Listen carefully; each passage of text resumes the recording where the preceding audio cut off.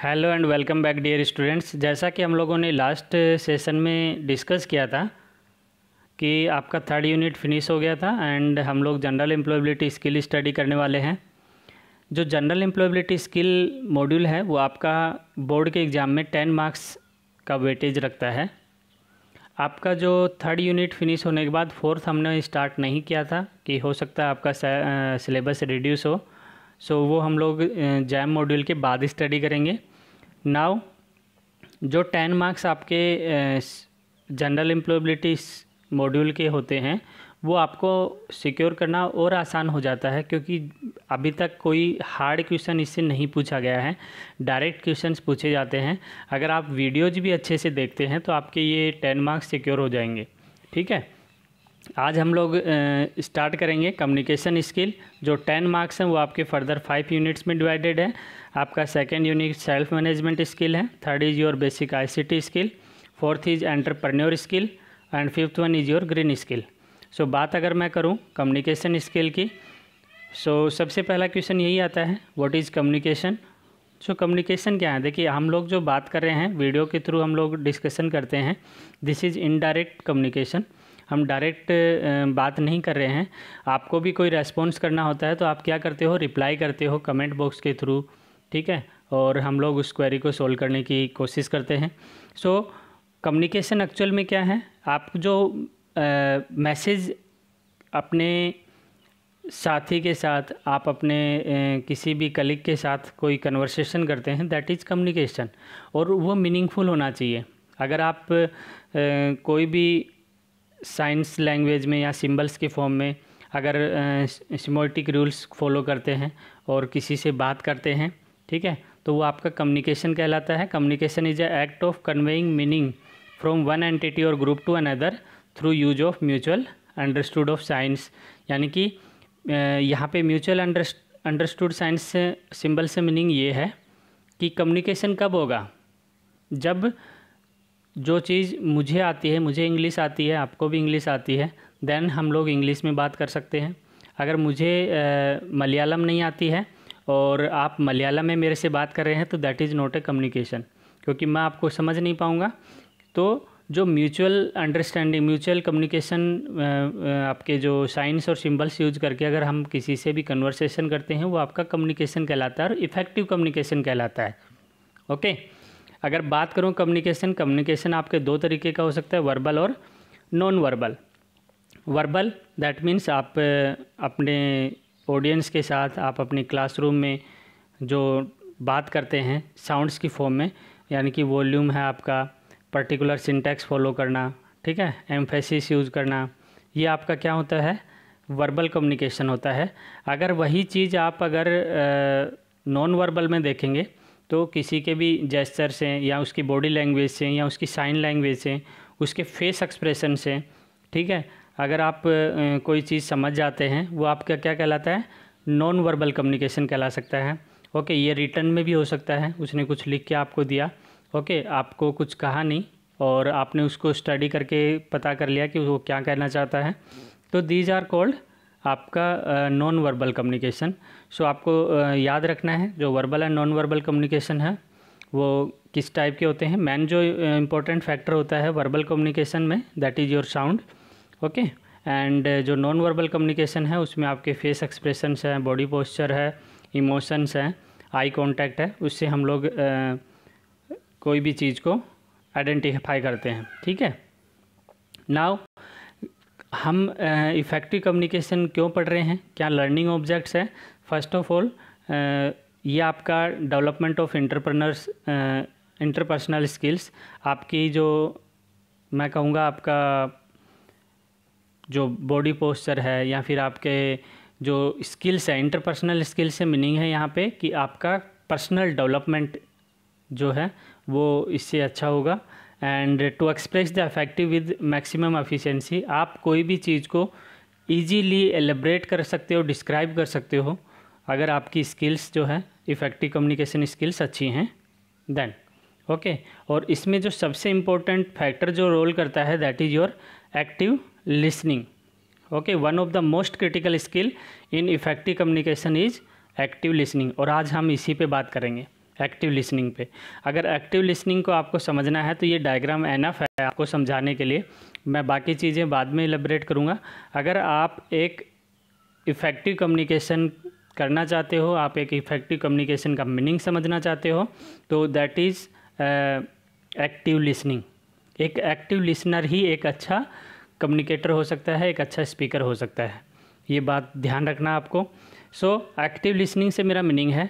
आप किसी भी कन्वर्सेशन को, आप किसी भी अगर आप कोई लेक्चर सुन रहे हैं, आप अगर कोई सेशन अटेंड कर रहे हैं, कोई सेमिनार अटेंड कर रहे हैं तो सबसे पहली चीज़ है पे अटेंशन आपको जो क्लासरूम में जैसा बहुत सारे बच्चे, बातें करते रहते हैं that means that is not active listening और उसका इम्पैक्ट आपको रिज़ल्ट आपको बाद में पता चलता है। उस टाइम आपको मस्ती में नहीं पता होता है कि आप क्या मिस कर रहे हो। आप अपनी पर्सनैलिटी डेवलपमेंट का एक अहम हिस्सा खो रहे हो एक तरीके से।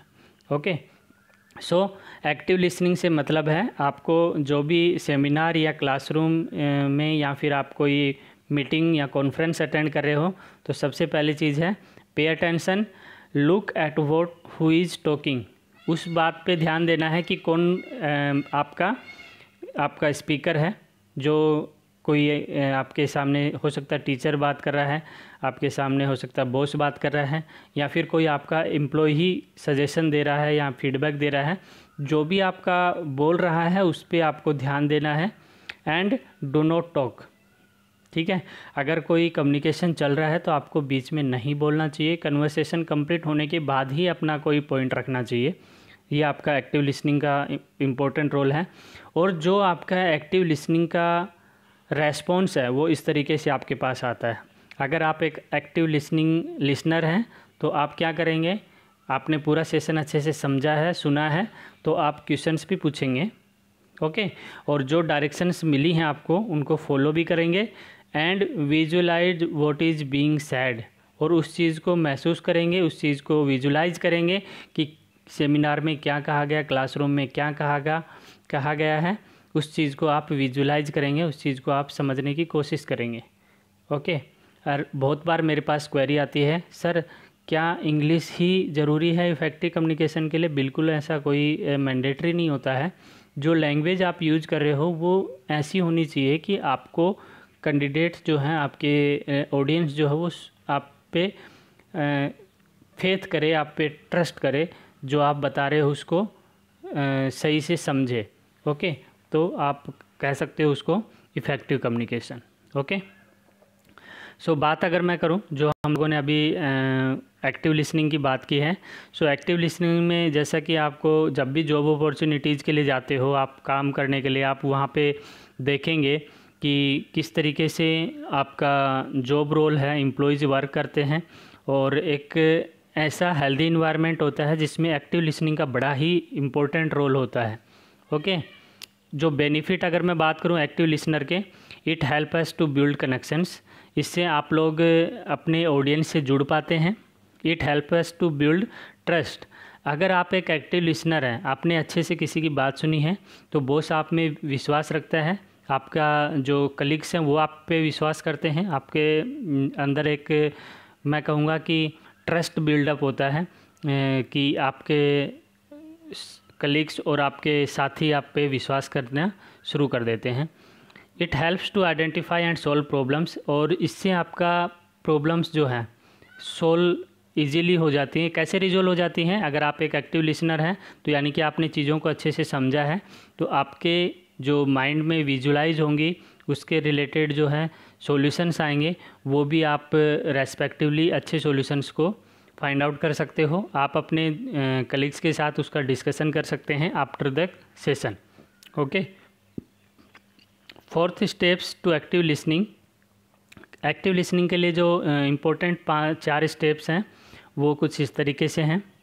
फ़र्स्ट ऑफ़ ऑल कॉन्टैक्ट आपका जो कॉन्टैक्ट है आपके पार्टिसिपेशंस के साथ, आपके आपके जो दोस्त हैं उनके साथ या फिर आपके मीटिंग पर्सनस के साथ, वो आपका वर्बल रेस्पॉन्स के साथ नॉन वर्बल रेस्पॉन्स होना चाहिए। यानी कि जब भी आप ऑडियंस को टारगेट कर रहे हैं या फिर ऑडियंस को एड्रेस कर रहे हैं ओके सो होना क्या चाहिए? सबके साथ आई कांटेक्ट होना चाहिए। उनको नॉन वर्बली आप चीज़ों को समझा पाओ। और एक्टिव लिसनर का मीनिंग है, आप बीच में कहीं नहीं बोलते हैं। आपको अगर आप एग्री हैं तो आप सिंपल नोड योर हेड आप अपने हेड हिला सकते हैं कि हाँ that means you are agree okay so this is the way you can being a participant of a particular conference और कन्वर्सेशन अब जॉब से मेरा मीनिंग है कि आपके पास बहुत सारी चीज़ें आप वहाँ पे डिस्कस होती हैं आपके मीटिंग्स में या सेमिनार्स में ओके क्लासरूम्स में. सो so, चीज़ों को अडेप्ट करना सीखना है तो एक्टिव लिसनर होना ज़रूरी है। अगर आप एक्टिव लिसनर हैं तो आप उन चीज़ों को अडेप्ट करेंगे, आप उन चीज़ों को सीखेंगे ऑब्जॉर्व करेंगे, ठीक है? Reflective feedback. रिफ्लेक्टिव फीडबैक का मतलब अगर आपने कोई चीज़ अच्छे से सुनी है then you can give a feedback और फीडबैक बड़े इंपॉर्टेंट होता है, क्योंकि फीडबैक से क्या होता है, हम अपने वीक पॉइंट्स पे काम कर पाते हैं, अगर हमारे को अच्छे फीडबैक्स मिलते हैं, क्योंकि अगर फीडबैक्स मिलेंगे तो आप उसको इम्प्रूव करेंगे और आपकी क्वालिटी और ज़्यादा इम्प्रूव होगी ओके कंफर्म कोई भी इंफॉर्मेशन जो स्पीकर बोल रहा है, उसको आपने अच्छे से सुना है तो आपके लिए ये अच्छा चीज़ है कि अगर आप उससे अग्री हैं तो आप उस चीज़ को कंफर्म करेंगे ओके क्योंकि अगर आपने कोई भी चीज़ अटेंड की है सेमिनार अटेंड की है आपने क्लासरूम में कोई एक्टिविटी अटेंड की है? अगर आपने एक्टिव लिसनर हैं और आपने उसको अच्छे से सुना है तो आप क्या करोगे उसको? रेस्पॉन्स करोगे और उसको कंफर्म भी करोगे कि हाँ ये चीज़ हो सकती है, इस तरीके से हो सकती है, इसके ये फिजिबल सॉल्यूशंस हैं, राइट? तो this is the way and अगर आप एक्टिव लिसनिंग की रिलेटेड आपकी क्लासरूम में एक्टिविटीज़ होती हैं, जैसे स्टोरी लिसनिंग गेम्स है या एक्टिव लिसनिंग स्किल गेम्स हैं तो वो आपके लिए और ज़्यादा इम्पैक्टफुल होते हैं।